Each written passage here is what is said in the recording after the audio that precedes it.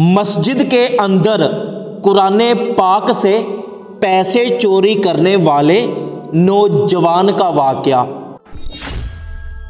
एक मुसाफिर नमाज़ पढ़ने के लिए मस्जिद में आया। उसने अपने जूते उतारे और मस्जिद में आकर नमाज़ की नीयत करके उसने नमाज़ पढ़ना शुरू कर दी। नमाज़ पढ़ने के बाद उसने दुआ मांगी, वो काफ़ी थका हुआ था।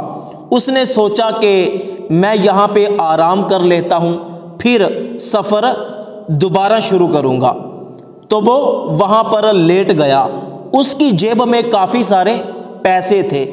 लेटे लेटे उसकी नज़र पैसों पर पड़ी, वो उठा। उसने अपनी जेब से वो सारे पैसे निकाल कर करीब ही पड़े हुए कुरान पाक में रख दिए, ताकि जब उसको जाग आएगी, वो यहाँ से पैसे पकड़ कर चला जाएगा। कुरान पाक में पैसे रखने के बाद वो दोबारा फिर सो गया। मस्जिद के करीब ही किसी घर की छत से कोई नौजवान ये सारा मंजर देख रहा था। तो इतने सारे पैसे देखकर उस नौजवान का दिल बेईमान हो गया। वो जल्दी से छत से नीचे दीवार फैलांग कर मस्जिद में आया। उसने देखा कि ये मुसाफिर मुकम्मल तौर पर सो चुका है। तो उसने क्या किया कि जल्दी जल्दी से कुरान पाक को खोला। कुरान पाक के अंदर से पैसे पकड़े और बहुत खुश हुआ और वो पैसे पकड़कर दोबारा भाग गया अपनी छत पे। दोबारा चढ़ गया। अपने घर में जाने के बाद वो चारपाई पर बैठा। फिर बड़े मज़े के साथ वो पैसे निकाल कर गिरने लगा। पैसे बहुत ज़्यादा था, समझ रहा था कि मेरी तो लाइफ बन गई।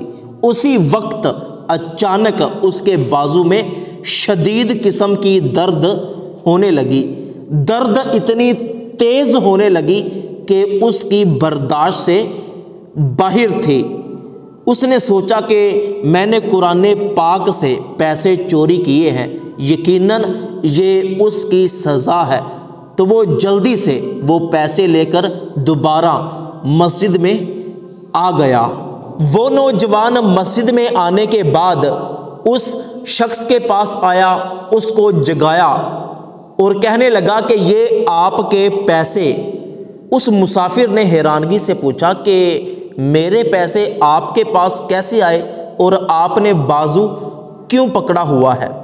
तो उस नौजवान ने बताया कि जब आपने कुरान पाक में पैसे रखे थे तो मैं छत से देख रहा था।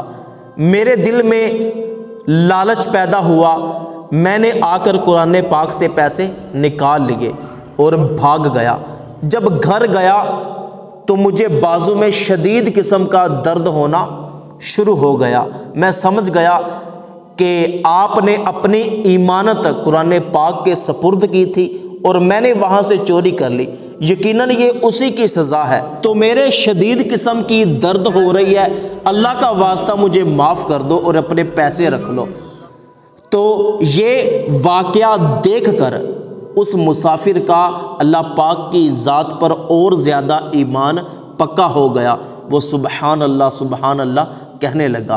तो दोस्तों, जो बंदा अपनी ईमानत अल्लाह पाक के सपुर्द करता है, अल्लाह पाक उसकी हिफाजत फरमाता है। इसलिए कहा जाता है कि जब भी कोई चीज़ किसी जगह पर रखो तो आयतुल कुर्सी पढ़ लिया करो।